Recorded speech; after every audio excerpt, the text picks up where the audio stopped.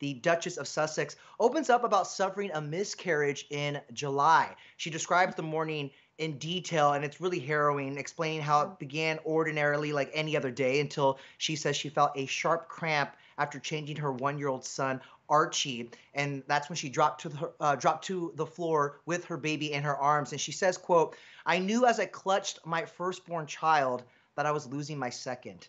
She goes. She continues writing that hours later she laid in a hospital bed, holding her husband Prince Harry's hand, writing, "quote I felt the clamness of his palm and kissed his knuckles, wet from both our tears. Staring at the cold white walls, my eyes glazed over. I tried to imagine how we Mhm. how we'd heal." I mean, the words she used to describe such a painful moment. Um, Meghan Mhm. said that this made her think of the moment last year when she and Harry were wrapping up their South African tour and she was exhausted. She was breastfeeding and trying to keep a brave face in front of the critical public eye. Take a listen.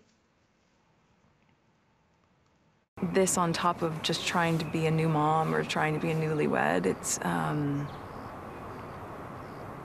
yeah well i guess and also thank you for asking because not many people have asked if i'm okay but it's um it's a very real thing to be going through behind the scenes And the answer is, would it be fair to say not really?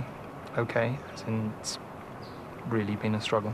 yes Um, for the last few years, we've watched Meghan's life, I mean, play out in front of our eyes, the ups and the downs, and I think her honesty is really is really what sets her apart from so many that we've seen in the past when it comes to the royal family. She said that she had no idea that her honest yet off the cuff answer there would resonate with so many other moms and anyone who in their own way might have been silently suffering. She said it wasn't if she didn't respond on, on honestly um she says it wasn't responding honestly that helped her the most but the question itself asking are you okay?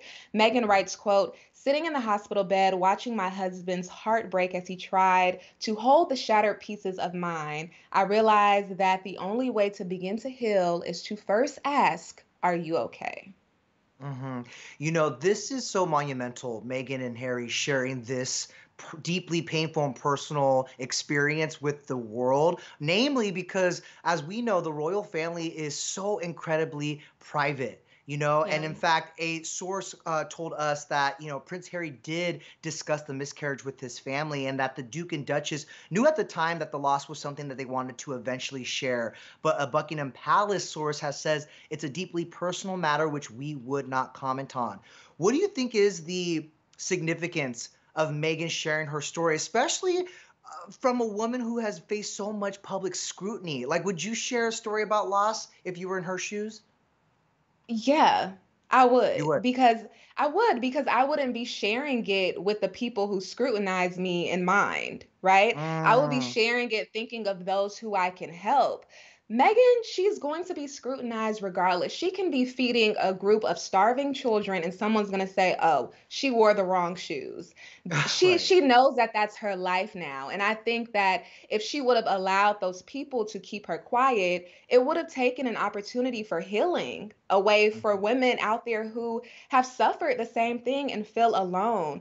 And we've seen, you know, recently Chrissy Teigen come out about what she suffered as far as her miscarriage. And Christina Right. Perri, she also opened up on Instagram about losing her baby. So there's these different women coming out, opening up about this subject. And I think that's so powerful because Meghan might resonate with someone that might not resonate with Chrissy. Christina might resonate with someone that might not resonate with Meghan. So the more you speak out, if you feel that it's on your heart, you don't have to, of course, it's so personal, but if you feel the need to, you have the opportunity to really help someone that could possibly relate to you in this subject, you know? It's so true, and I feel like, you know, it's uh, they're giving women the space to also share similar experiences. Um, and for and a lot of people are hearing these stories for the first time because for whatever Yeah. reason, you know, it's it's almost like they just keep it to themselves because they don't want to burden anyone else with this heaviness, you know. And so it's giving Mhm. uh, women like Meghan and Chrissy and Christina are giving people permission to talk about it and to begin to heal. So, um, sure. props to all of them, really, really. And of course, we have more on this story up on etonline.com.